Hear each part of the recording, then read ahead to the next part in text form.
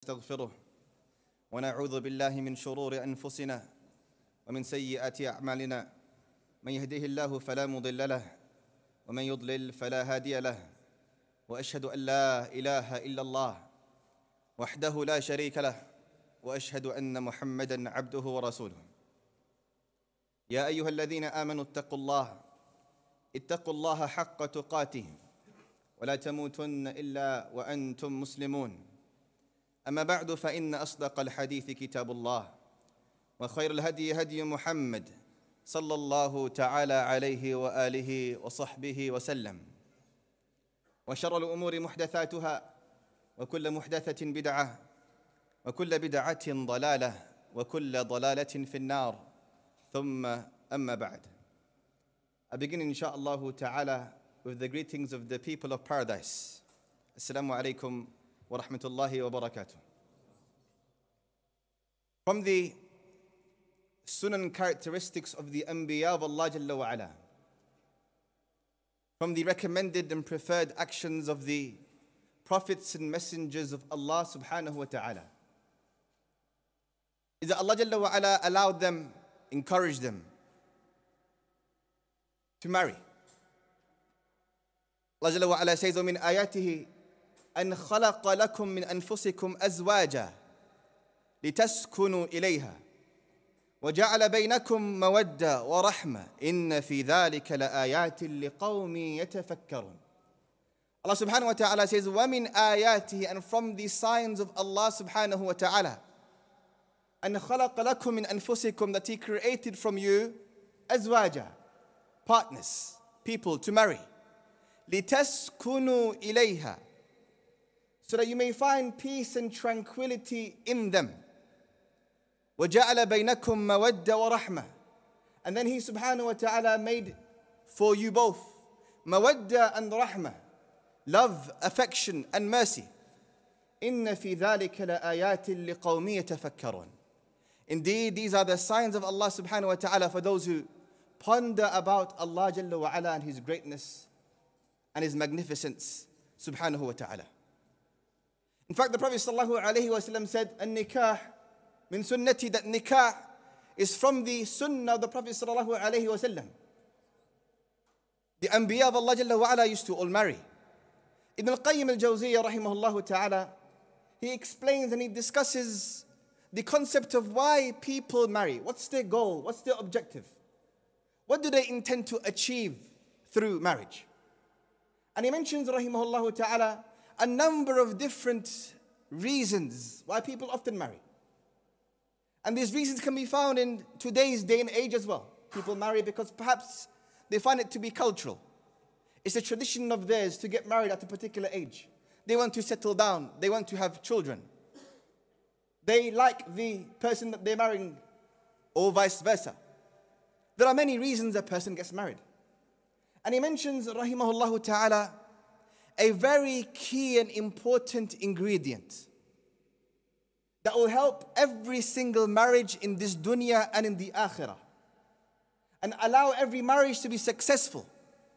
He says, after mentioning a number of reasons, he says that the greatest reason, the greatest goal or objective that a person can find or look for when he intends to get married is that he or she marries because they understand that marriage is ibadah. They marry because marriage is an act of worship.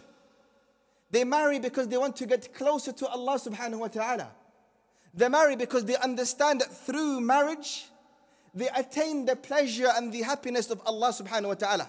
Through marriage, they get reward. Through marriage, they are closer towards the mercy of Allah Jalla wa'ala. To, through marriage, they are able to acquire and attain high levels of paradise. What I would like for you to do, or brother or sister in Islam, is to take a few steps back and just think about this point. Marrying for the purpose of ibadah. Marrying for the purpose of worship. What does this mean? And what does worship mean? Allah Jalla wa ala says, and we've all, across, we've all come across this ayah a number of times in the Quran. وَمَا خَلَقْتُ الْجِنَّ وَالْإِنسَ إِلَّا لِيَعْبُدُونَ I have not created jinn or man except to worship Allah subhanahu wa ta'ala. So, in essence, our purpose for our existence in this dunya is to worship Allah subhanahu wa ta'ala. But what is worship? What is worship?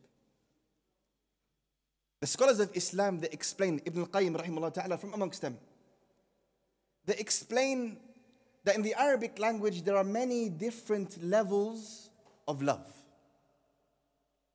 You have a love that is based upon lust.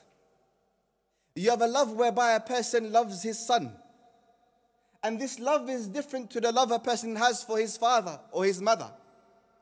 Or is different between the love that he has or he shares for his company or his business, or even today, his football team that he supports. The clothes that he wears. These are all different levels of love. Right? They're all different levels of love. We love all of these things differently. Ibn al-Qayyim explains. And he says, rahimahullah ta'ala, that the highest, greatest level of love in the Arabic language has a name.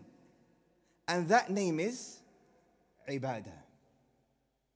That name is ibadah. Ibadah in the Arabic language means the highest possible level of love, whereby you would leave absolutely everything in order for the one that you love to be happy with you and you happy with them.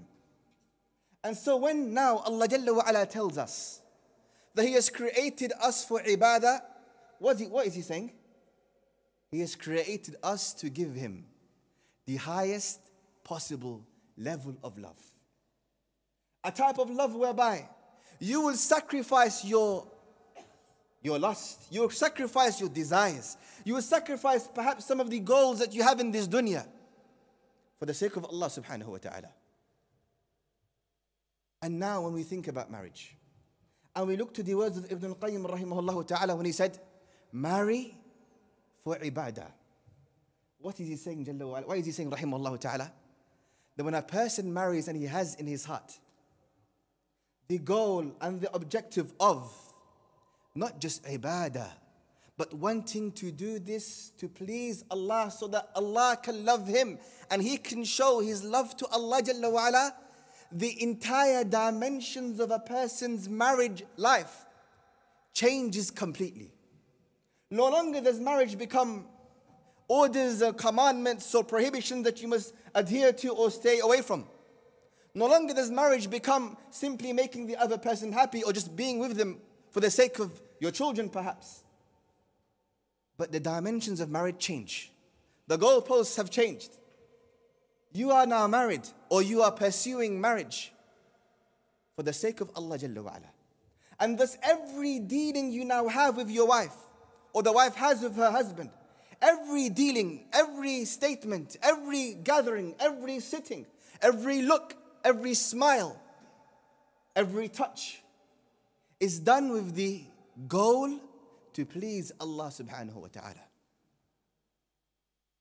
Is done with the goal to please Allah Jalla wa ala, to make Allah Jalla wa ala love you, and to show Allah Jalla wa ala that you love Him. And this is why as some of the scholars explain these words of Ibn al-Qayyim rahimahullah ta'ala, that when a person traverses upon the path of marriage with the intention of ibadah, he lives a life with his wife in this dunya as if though he is living in the akhirah. As if though he's living in the akhirah.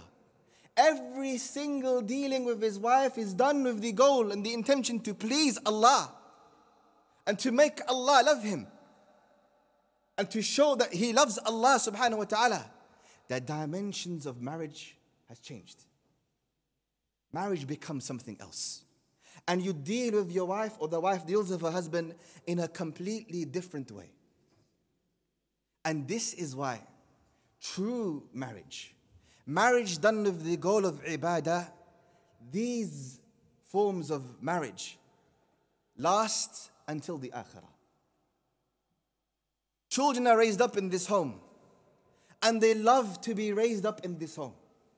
They love to be in the company of their parents because all they see when the father speaks to the wife or the wife speaks to the father, all they see are dealings blessed with love. Statements uttered intending ibadah. Dealings done intending closeness to Allah Jalla wa ala. The house becomes a house of ibadah. The parents become parents of ibadah. And the husband and wife become partners built upon ibadah. May Allah Jalla wa ala bless us by giving us a marriage based upon ibadah. May Allah Jalla wa ala give us that window of worshipping Allah subhanahu wa ta'ala even in our daily routine. Ameen.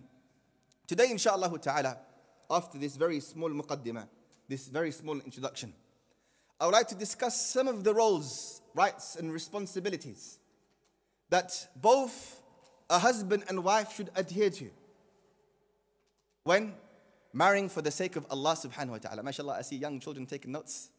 A bit too early for your time, alhamdulillah. But alhamdulillah, I encourage you to seek the path of knowledge. Ameen. So, what are these roles and responsibilities that both the husband and wife should have in order for the marriage to be successful? In order for them to please Allah subhanahu wa ta'ala, in order for Allah Jalla wa ala to be pleased with them and love them as well. We said that marriage is built upon ibadah, it's built upon the goal and the objective of worship. And thus, if marriage is built upon the goal and the intention of worship, the rights and responsibilities a husband has for his wife and the wife has for her husband is to encourage one another to ibadah. Is to encourage one another to increase in their act of worship, in their dealings with Allah subhanahu wa ta'ala. Allah Jalla wa ala says, وَاجْعَلُوا He says, وَاجْعَلُوا بُيُوتَكُمْ قِبْلَةً وَأَقِيمُوا الصَّلَاةِ He said, and make your homes a qibla and stand up and perform the prayer. Make your homes a qibla and stand up and perform the prayer. Meaning the house in itself, the house of the husband, the house of the wife, the house of the father and mother should be a house of ibadah. Should be a house of ibadah. And thus the husband fixes the errors of the wife. And the wife fixes the errors of the husband. They are both trying their utmost to bring one another closer to the pleasure and the mercy of Allah subhanahu wa ta'ala. Whenever they find a defect in a person's life, their dealings with Allah Jalla wa ala, they speak to them in a loving way. Words of wisdom they give in order for the person to come close to Allah subhanahu wa ta'ala. Because their goal as a husband, their goal as a wife, is to become husband and wife in the dunya and husband and wife in Jannah. Husband and wife in the dunya and husband and wife in Jannah. This is why the Prophet ﷺ said in a hadith reported by Ahmad from Abu Hurairah radiallahu ta'ala an. He says sallallahu alayhi wa sallam, رحمه الله رجلا رحمه الله رجلا قام من الليل فصلى وأيقظ امرأته فصلت. Allah Jalla wa ala has mercy upon the man that stands up at night. فصلى and he prays. وأيقظ امرأته فصلت and he wakes up his wife and he tells her to pray. And then he said صلى الله عليه وسلم ورحمه الله امرأة قامت من الليل فصلت وأيقظت زوجها فصلى And may the mercy of Allah جل وعلا be upon the woman that wakes up her husband at night. She prays and he prays as well. Abu Huraira radiallahu ta'ala an, he used to split his night into three sections. And Hukana Yaqum, he used to stand up at the first part of the night. Then he would wake up his wife and make her stand up the second third of the night. And then he would wake up his son or his children and make them stand up at the third part of the night whilst he, radiallahu ta'ala an, according to some narrations, would stand the entire night with himself then with his wife, and then with his children. A family that was built upon ibadah because they understood marriage is worship and every dealing thereafter must be done in order to bring the slave of Allah Jalla wa ala to the worship of Allah subhanahu wa ta'ala. Oh brother or sister in Islam, O husband or wife in Islam, or one who is looking for happiness and success in your marriage, Look for ibadah. And look to see how to Rebuild your relationship with Allah because if you fix your relationship with Allah, Allah will fix your relationship with your spouse. If you build for yourself a mountain to stand and worship Allah, Allah Jalla will build for yourself and your wife a mountain together for you to come together. You worry about Allah, Allah will fix absolutely everything else. Marry with ibadah and then nourish and strengthen your relationship with Allah Jalla wa ala. And I swear to you by Allah Jalla wa ala, for the ones who help their spouses in worshipping Allah, Allah Jalla wa ala will help you.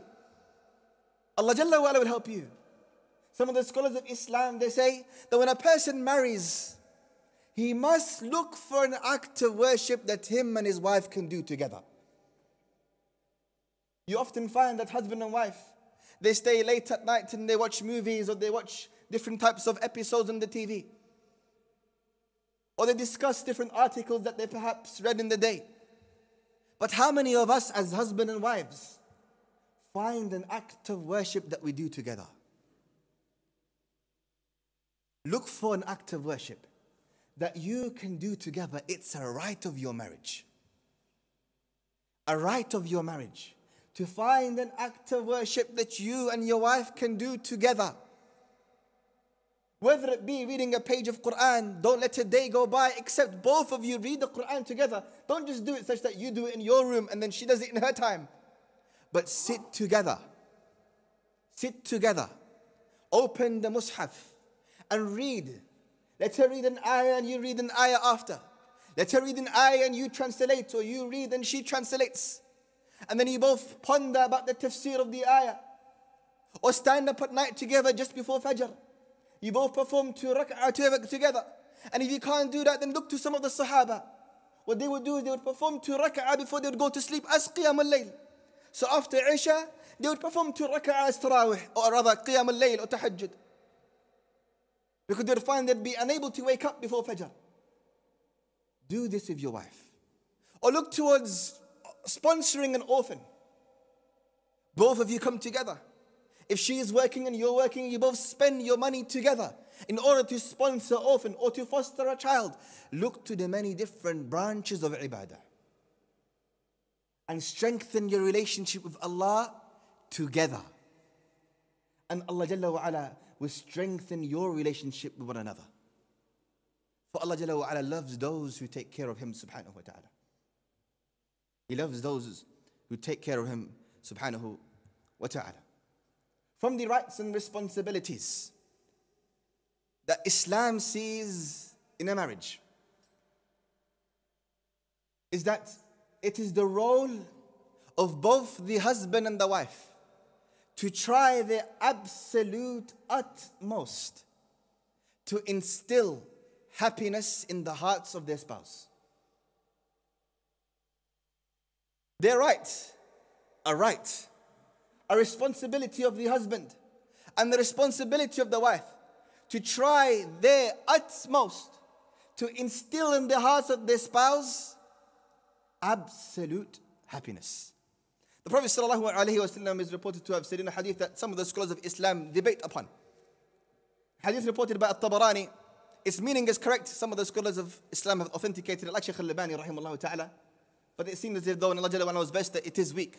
But his meaning is correct, inshallah ta'ala.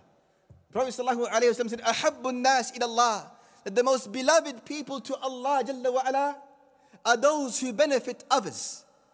Wahabbul ahmal, wahabbul ahmal ilallah, and the most beloved action to Allah Jalla wa'ala is entering happiness in the chests of the slaves of Allah Jalla wa'ala. Is entering happiness in the hearts of the Muslims. And what better way to start? What better way to start than the home itself?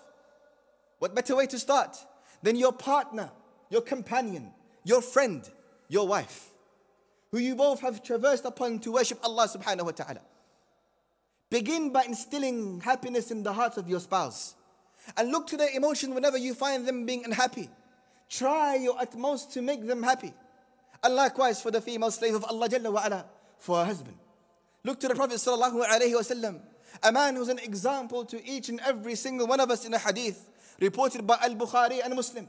The Prophet ﷺ, he saw that outside of his window there was a group from Habasha having some kind of play. They were playing in the masjid of the Prophet ﷺ on the day of Eid.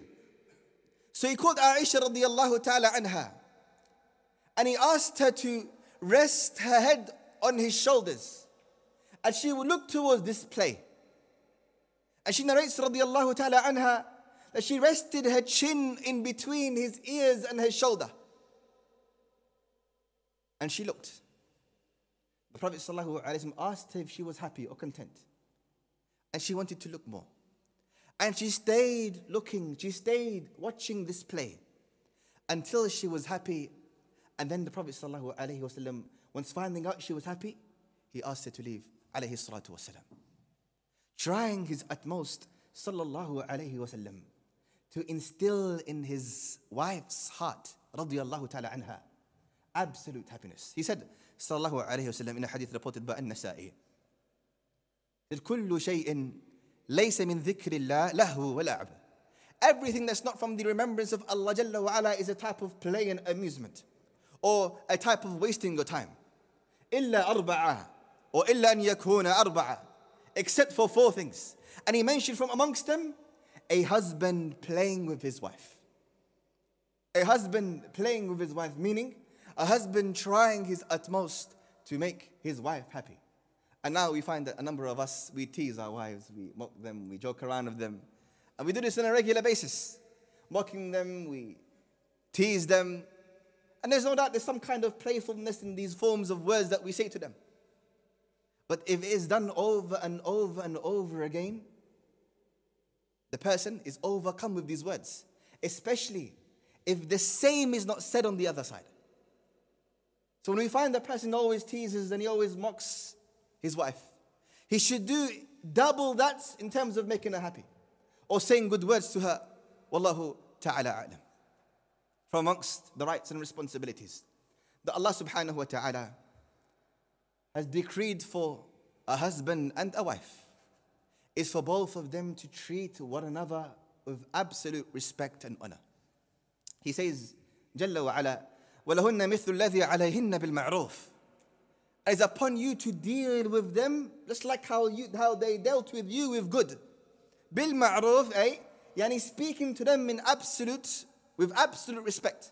Speaking to them in a good way, treating them in a good manner. The Prophet ﷺ said, خيركم خيركم لأهله the best of you is the best of those who are to their families. The best of you in this world are those who are best to their families. And then he said, وَأَنَا خَيْرُكُمْ لِأَهْلِي And I am the best to my family. And I am the best to my family. وَخِيَارُكُمْ خِيَارُهُمْ لِنِسَائِهِمْ the best of you in the face of this world are those who are best to their wives or best to their women folk. And so it's imperative upon us all, our brother or sister in Islam, to deal with your spouse in a good manner. Respect them. Say good words to them. Aisha radiallahu ta'ala anha used to say, the Prophet never ever raised his hands to myself or to any of his women. And he never raised his hands to his slave or to any of his children. Anas ibn Malik radiallahu ta'ala anha used to say, that sometimes the Prophet ﷺ would ask me to do something. And when I forgot to do it, he never would ask me, why didn't I do this? And he would never raise his hands to myself or to any of his wives. Sallallahu alayhi wasallam. From amongst the etiquettes, the roles and responsibilities that Allah Jalla wa ala has placed upon the husband and the wife is for both of them to share words of love. We spoke about general terms, general words of respect, and general words of good. It is from the roles and responsibilities, the rights of a husband and the rights of a woman to tell one another that they love them. To tell one another that they love them. In fact, this was the sunnah of the Prophet ﷺ in a hadith reported by Al-Bukhari and Muslim A person came to the Prophet ﷺ and he said to him, Ya Rasulullah, أي الناس أحب إليك Who from the people is the most beloved to you? Who from the people is the most beloved to you?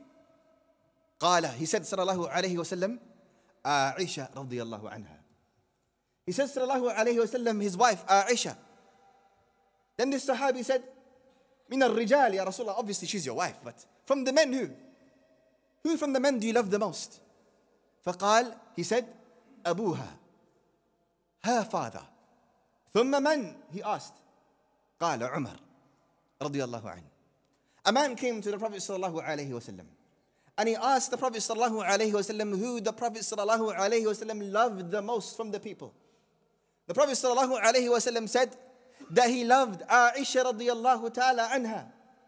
He loved Aisha radiallahu ta'ala anha. And he wasn't embarrassed to tell the people that he loved his wife.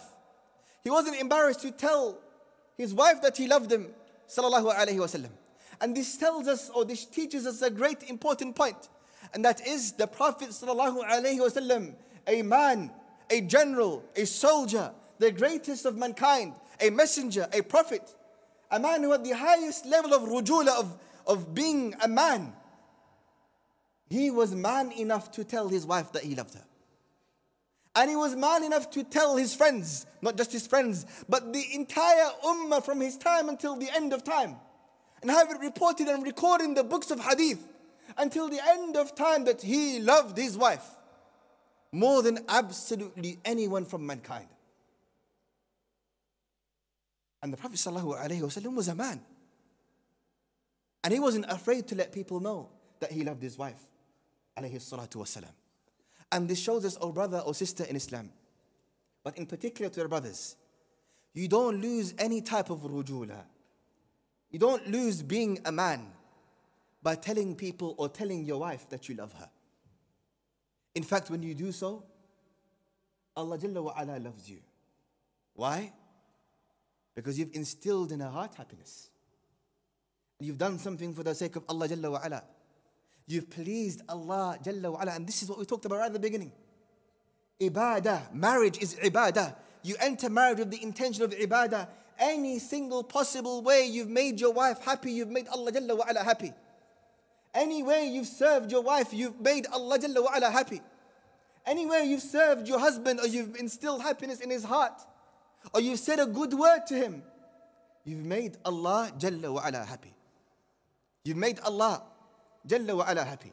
Look to some of the wives of the Prophet sallallahu alaihi wasallam. They didn't just love telling the Prophet sallallahu alaihi wasallam that they loved him. But one day, a woman came with some henna. How do you translate henna? Henna, right? Right. He came, some, he came with some henna. She came with some henna to dye the hair of the wives of the Prophet sallallahu alaihi wasallam. فقال, so she said, that she dislikes the smell of this henna. She dislikes the smell of this henna. And she was asked, Why do you dislike the smell? You know, which woman dislikes the smell? And she said, I dislike this smell because I know the Prophet disliked the smell. I know the Prophet ﷺ dislikes this smell. So, what did this wife of the Prophet want to do? What was her goal? To keep the Prophet ﷺ happy. To keep him happy, alayhi as-salatu was-salam. Tell your wives that you love them. Be gentle with them. Give them good words. And be patient and hold yourself when you know that you're on the right. Imam Ahmad rahimahullah ta'ala is reported in it. It's reported that Imam Ahmad in the Tabaqat al-Hanabila. The Imam Ahmad rahimahullah ta'ala from the wife of his son Salih. He said that he'd been married with her for 20 years. He's been married with her for 20 years, and he said, I have never disputed with her even on one kalima. For 20 years, I've been married with her. And I haven't disputed with her even for one kalima. Shuraih, the great Qadi of Islam. Shuraih used to say, whilst calling his son, I've lived with your mother for a number of years. I've lived with your mother for a number of years. And he also mentioned 20, 20 years. And he said, I've never differed with her, I never became angry with her, I've never said anything other than gentle words to her. I've never differed with her except one time, and that one time, I was wrong, he said. I was wrong, he said. Another benefit we learn here, or brother or sister in Islam, is that you don't lose your manliness. You don't lose being a man by admitting you're wrong to your wife. These great scholars of Islam, these great warriors of Islam, mentioned it for people to write down in their books for eternity and people to discuss in gatherings like this. None of them were afraid to be someone low than who they were. Uh, who they were. This characteristic, this right, is to tell your wives that you love them. From amongst the characteristics or the rights and responsibilities that Allah Jalla has placed for both a husband and a wife is both of them must strive the utmost to conceal the secrets of the home. Both of them must strive the utmost to conceal the secrets of their home. In fact, Allah Jalla wa'ala says, فَالصَّالِحَاتُ قَانِتَاتٌ حَافِظَاتٌ لِلْغَيْبِ بِمَا حَفِظَ اللَّهِ That the pious, righteous female slaves of Allah Jalla wa'ala are those who conceal the unseen, those who conceal the hidden things. The Prophet ﷺ said, إِنَّ مِنْ أَعْظَمِ الْخِيَانَةِ That the greatest form of treachery and the greatest way of taking someone's rights is for a man to enjoy his wife and then spill the secrets or expose the secrets of the wife the next day. Or likewise for a woman to enjoy her husband and then spill the secrets or tell about the secrets the next day. Now, even though these ahadith are in particular regards to intimate actions or the bodies of the husband or the wife, the scholars of Islam they open it up to absolutely everything.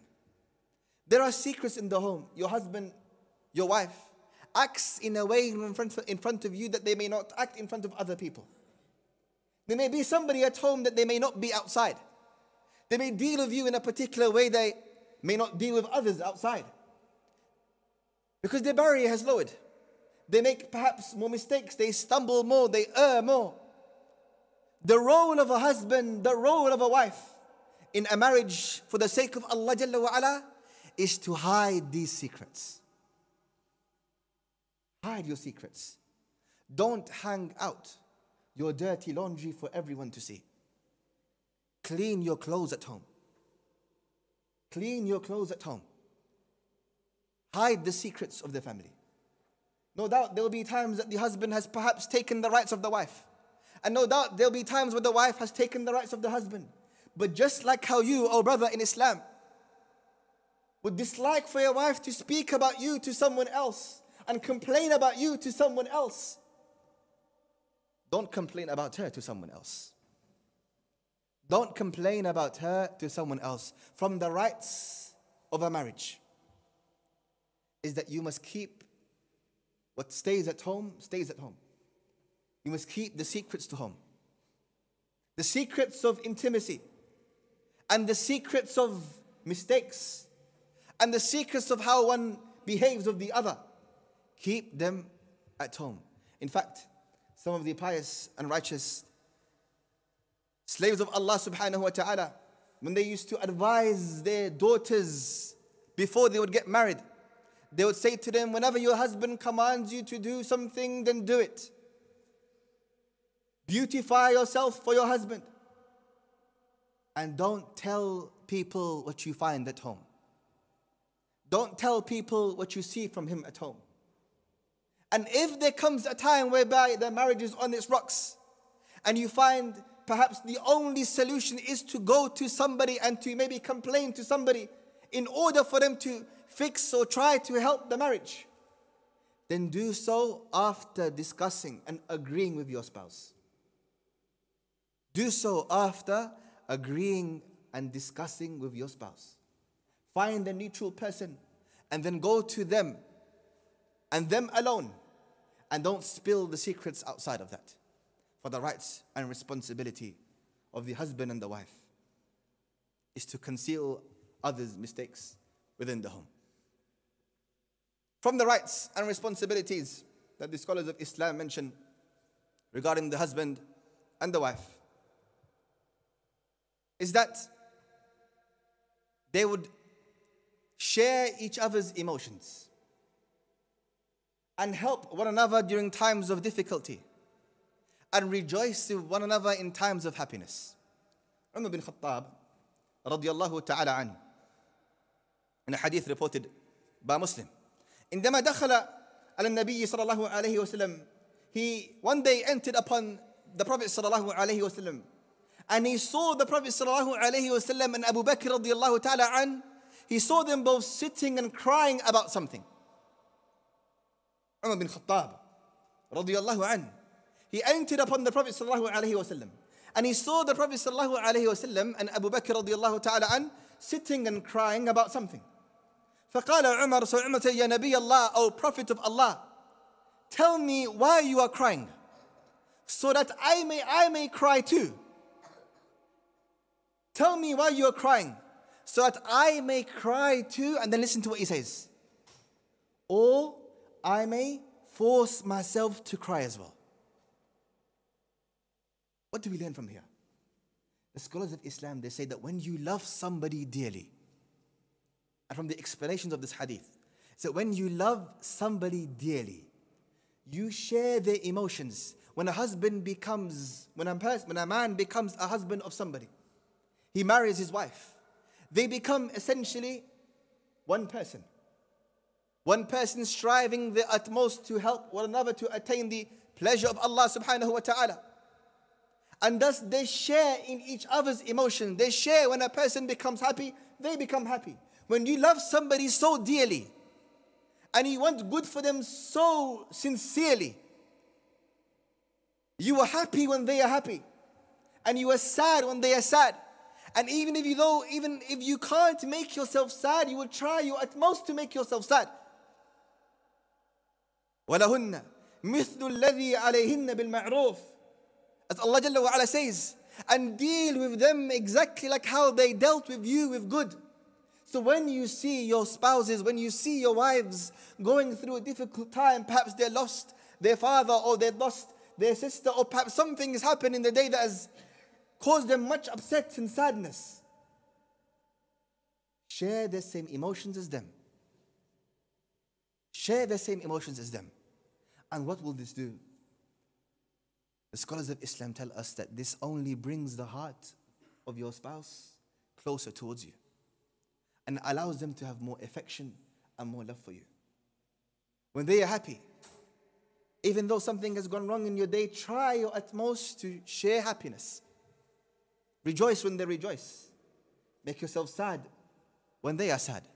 From the rights and responsibilities of a fruitful marriage in this dunya and the akhirah, that the husband and the wife they share each other's emotions. They share each other's emotions. From the roles and responsibilities of a successful marriage that the scholars of Islam mention is that both husband and both wife must beautify themselves for one another. Both husband and wife must beautify themselves for one another. Again, Allah Jalla wa ala says, وَلَهُنَّ مِثْلُ الَّذِي عَلَيْهِنَّ بِالْمَعْرُوفِ Deal with them just like how they dealt with you with goodness and with khair. With goodness and affection. The husband wants his wife to be adorned, to be beautiful for himself. Every man will say the same. He wants to be able to go home after a long and difficult day of work and see his wife and look upon his wife and she's dressed up for him or she has made herself presentable for him. But does it make sense for a man to be able to expect this if he doesn't do the same for his wife? Does it make sense for the man to expect this if he doesn't do the same for his wife. The Prophet ﷺ and the Sahaba were coming back from a battle. Were coming back from a battle. And they were approaching Medina. Hadith reported by Al Bukhari. They were approaching Medina. The Prophet said to his companions, Slow down a little bit so that, we may be able, so that we may be able to enter Medina in the evening and not the day. Imagine a long travel. You've participated in a battle. You're on the way back. You'd want to go home quickly to be able to see your family and to see your children and be able to go home and relax at the comfort of your own homes. But he said to his companions, Slow down, slow down, so that we may be able to enter into Medina at night. The Sahaba asked, Why, Ya Rasulullah? He said, Sallallahu Alaihi Wasallam, so that we may be able to have a ghusl and beautify ourselves and enter upon our homes so that our wives are pleased with us. The Prophet ﷺ, as narrated by Aisha radiallahu ta'ala anha, whenever he would enter his home, he would use the siwak and clean his, clean his mouth. Ibn Abbas radiallahu ta'ala an, he used to say that I, beauty my, I beautify myself. I beautify myself for my wife because I want her to beautify herself for me. And the Prophet sallallahu alayhi wa said, Inna Allah jamilun. Yuhibbul jamal. Allah Jalla wa ala is beautiful and He loves beauty, Jalla wa ala. And thus, if you really want your wife to be presentable towards you, then be presentable for her. Use perfume. Clean yourselves after work. Remove the stains and remove the smells that you have when you go and play sports or you go to the gym. Beautify yourselves for your wives, and they will beautify themselves for you from the rights and responsibilities. The roles of marriage is that husband and wife they take care of their outward appearance. And doing so would enable both of them to beautify their inward appearance, especially with regards to their dealings with one another. From the rights and responsibilities of marriage that the scholars of Islam they mention is that both husband and wife must have ghira, a protective form of jealousy for their spouse. Both husband and both wife must have ghira, a protective form of jealousy for their spouse. The Prophet ﷺ is reported to have said, ثلاثة There are three groups of people لا يدخلون الجنة that will never ever ever enter Jannah. He said, Al-aqli waliday, the one who is disobedient towards his parents. And then he mentioned specifically for this particular point, ad-dayyuth. What dayyuth, he said. And what is ad-dayyuth? Ad-dayyuth is the one who cares not about his wife mixing with men, his wife being in the company of men, or speaking to men in a manner whereby she's supposed to save and protect for her himself. Ad-dayyuth is the one who has no form of protective jealousy for his wife or his mother or his sister or his daughters. But in regards to today's topic, his wife, he doesn't care how his wife and who his wife mixes with. He doesn't inquire about where she's gone. He doesn't know about her friends. He cares not about who she speaks to. He encourages her to sit in gatherings where there are men. And you often find, especially in today's day and age, brothers and sisters, they sit on mixed tables.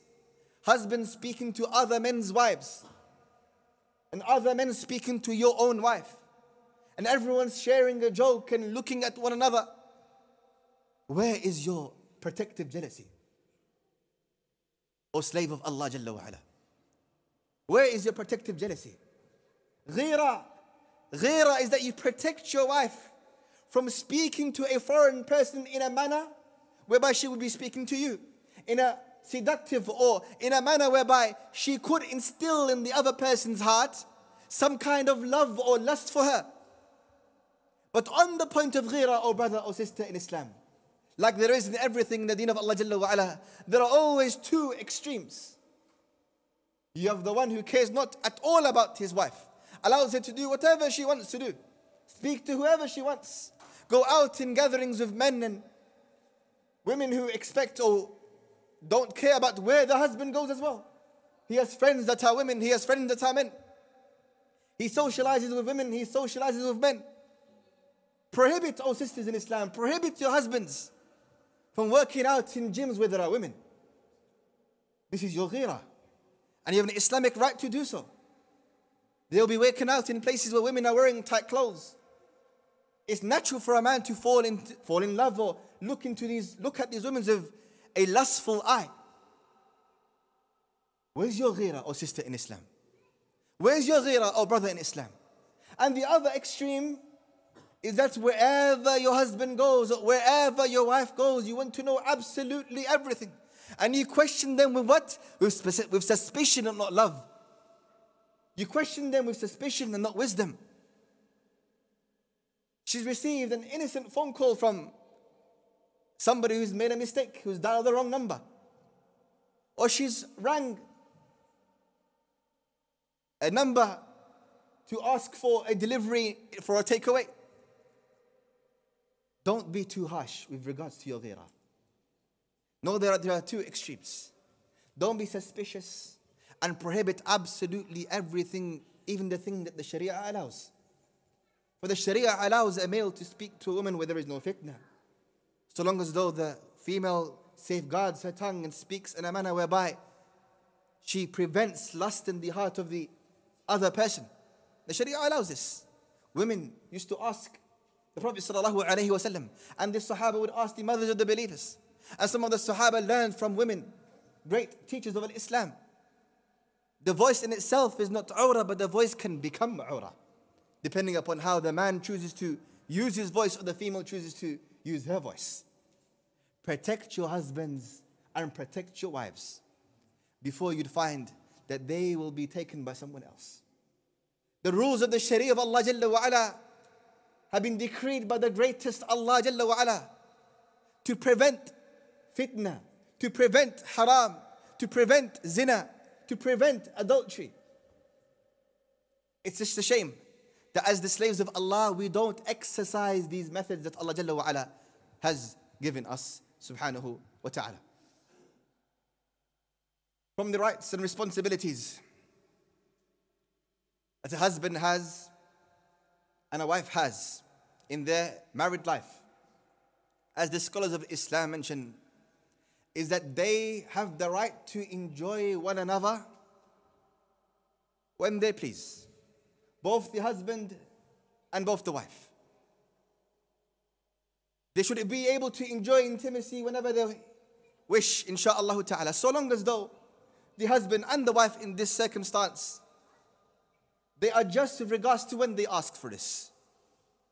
You find a number of brothers in Islam they use the hadith of the Prophet sallallahu alaihi wasallam إذا دعا رجل امرأته إلى فراشه.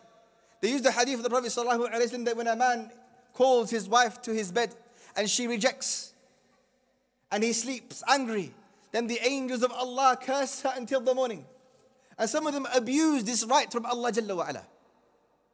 Some of them abuse this right from Allah Jalla wa ala. Know that your wives are human beings. They also have long, tiring days. Some of them perhaps work. Some of them spend the entire days at home preparing and cleaning and looking after the home for their in laws or perhaps their children or perhaps yourselves. So be considerate when you ask for something. And likewise for the woman, because even though this hadith is specifically for a man, Shaykh al-Islam ibn Taymiyyah ta'ala says, it doesn't make sense that when a woman has desires also, and she asks her husband to fulfill these desires, and her husband says no, he says it doesn't make sense for Allah jalla to excuse the the woman or excuse the man from any sin. No doubt the man should be sinful as well. And so both one another has a right and responsibility to enjoy one another. And remember, you are enjoying one another for the sake of Allah Jalla wa'ala. Every act between you two is a means of you getting closer to Allah. Is a means for Allah Jalla wa'ala being pleased with you. Is a means of you raising your rank in Jannah. From the rights and responsibilities, and we'll end this, on this note, inshallah ta'ala, is that both husband and both wife should be absolutely ameen مع الآخر. Should be ameen and مع الآخر, as in you should be trustworthy and reliable, a source of trust, a companion, a friend to the other person. No, brother or sister in Islam, your wives are not enemies. Your wives are partners, are companions that are holding your hands towards a path of success, towards a path of pleasure, towards a path of Jannah. You need them to be able to attain Jannah, and they need you to be able to attain Jannah. There is no one on this earth that knows you better after Allah Jalla wa and yourselves than your spouses. No one who knows the secrets of your errors or where you are falling behind or how you need to raise yourself to be able to enter Jannah and what you need to be able to do to answer your questions in the grave correctly. No one knows these better than your wives. And so be trustworthy to them. Be a source of reliance, a source of trust, a source of respect and honor for your spouses. Be their companion. Hold their hands. And remember that Allah Jalla wa has promised both of you Jannah so long as though you help one another to Allah subhanahu wa ta'ala's paradise.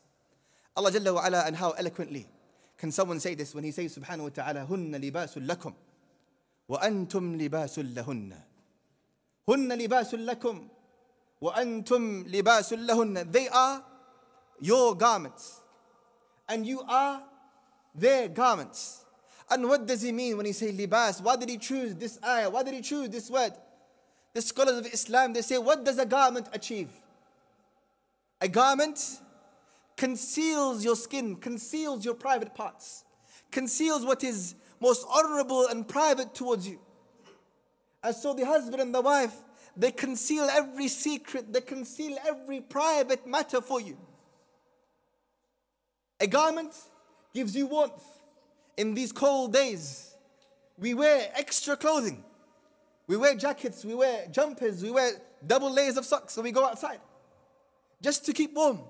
Libas, we wear different garments. Allah calls your wife a garment and you a garment so that they keep you warm.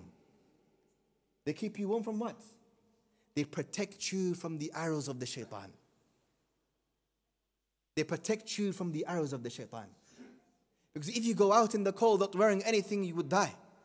If you go out, or brother or sister in Islam, without your husband or your wife protecting you, giving you that extra clothing, telling you where you're falling short, and what you need to be able to do to fulfill Allah Jalla wa Ala's pleasure, you're going to fall short. A garment also, we wear, we select garments based upon sometimes how the garment looks like, right? Some of us, we go to shops and we spend extra from, our, from what we have to be able to buy nice clothes. And we choose nice garments with good labels, some of us. And why do we do that? Because we believe this is a source of adornment. We believe this type of clothing makes us look better.